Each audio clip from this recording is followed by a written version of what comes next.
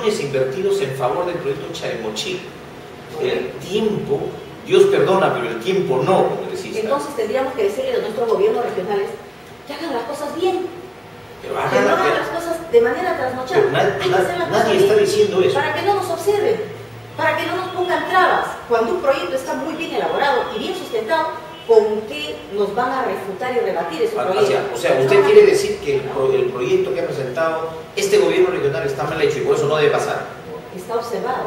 Lo que No, estoy pues- manifestando es, hay que levantar esas observaciones y exigir que se ejecute este proyecto. Pero en las Porque no podemos permitir en las condiciones que APRA se siga burlando de ANCAS. Y se burla justamente porque se le da este tipo de aperturas. O sea, hay una pequeña falla. Congresista, el no se va a burlar de nosotros con Ana García a la cabeza, permitimos. sea como sea. Porque se lo permite. Porque lo permitimos. Hay que luchar de manera frontal para defender ¿Y cómo vamos los a luchar de manera frontal? Por ejemplo, cumpliendo con todos los requisitos. ¿Y usted cree que el proyecto no está cumpliendo con todos los No lo requisitos? digo yo. Me lo han entregado, esto me lo ha entregado el MEF. Yo no lo puedo decir, yo A no ver, soy una ¿Qué requisitos no está experta en cumpliendo? ¿Qué requisitos no Están está aquí, voy a están acá las observaciones para que usted las pueda analizar. Pero resúmalo, por favor, ¿qué requisitos no está Le he dado lectura acá. Que posee limitado sustento técnico. Entonces, en la conversación que tuve con la ministra me dijo, nosotros queremos viabilizar esto. Hay tres técnicos expertos que estamos designando para que en la mesa con el- los técnicos de la región culminen esto y darle la rentabilidad. Esa ha sido la, la- la postura. ¿Usted cree, congresista, una pregunta para Es que para- el tema, discúlpame Nelson, pero el tema es que se ha estado manipulando de manera... ¿Quién lo está manipulando? Dígalo, ¿quién lo está Los manipulando? candidatos. ¿Cuál candidato? El candidato, este, el candidato que ahorita está en licencia ha cogido chinecas para un tema de campaña y a mí me parece que eso no está bien. Eso no está bien. En la oportunidad, cuatro años en la gestión, esto se debió pelear, este expediente. Ahora, esta elaboración del, del- del perfil ha tenido un costo alto. Congresista, ¿usted cree que primero es lo técnico y de ahí lo político?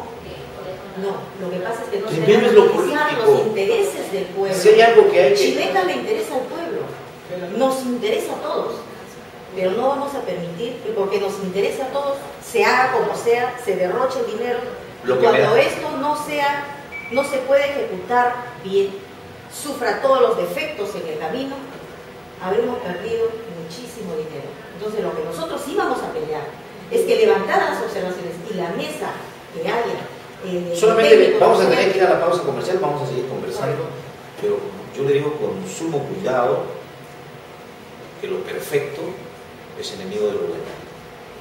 Y creo que usted quiere un proyecto perfecto. No perfecto. Yo estoy absolutamente convencido que si hiciera una auditoría del proyecto Chaimochi, si se hiciera una auditoría desde que se hizo el proyecto Chaimochi, tendrían iguales o pe- o peores defectos que este proyecto. Pero vamos a ir a la Pero- pausa Pero comercial. los apristas pues son expertos en hacer este tipo de cosas. Sí, pero usted está en una No posición... le demos la oportunidad a los apristas. Pero usted está dando la a no. los artistas para que tengan Yo no, argumentos. porque yo no he sido presidente regional. El presidente regional tiene que responder esto, porque está mal elaborado. Pero que responda después. Que responda después. Mire, yo le doy a usted un cheque de un millón de dólares. Gástelo como quiera. Después me lo respondo. Después me lo respondo. no, no es responsable eso. No es responsable. Entonces que no se haga nada en chinecas, congresista. No he dicho eso. ¿Qué? Hagamos chinecas de cara al pueblo. Que el pueblo entienda para qué y cómo se está de cara al pueblo. Esto lo debe conocer el pueblo. ¿Por qué? Porque este proyecto va en beneficio para cada uno de ellos. Entonces, si ellos desconocen esto y luego nos dicen, pronto el SNI, pronto nos aprueba, este jueves ya tenemos, y este, no podemos ser irresponsables. Eso lo ha dicho No el propio primer ministro. Eso lo ha dicho el propio primer ministro. lo están utilizando políticamente. ¿Qué pasa si mañana se desiste el APRA y lo saca? El APRA, buena gente, con Ancash. ¿Quién está utilizando esto? Políticamente se está utilizando. Cuando este es un proyecto de más de 20 años de anhelo para Ancash y que a la fecha no se ha conseguido por la desidia de sus autoridades. Y el gobierno central es uno de los principales responsables para que este proyecto no se, no se ejecute, porque sus intereses es Trujillo, sus intereses son las grandes empresas que están allá. Y llevarse nuestras aguas y nuestras autoridades lo están permitiendo. Bien, vamos a ir a la pausa comercial. El tema de Chinecas es un tema muy difícil. ustedes estarán sacando sus propias condiciones, con, este, conclusiones, pero yo, lo que yo sí les digo, amigos televidentes, es que sea como sea, sea como sea, el proyecto Chinecas debe aprobarse, debe aprobarse, debe darse la viabilidad. ¿Por qué? Bueno, vamos a seguir conversando con la congresista Nena Escalante.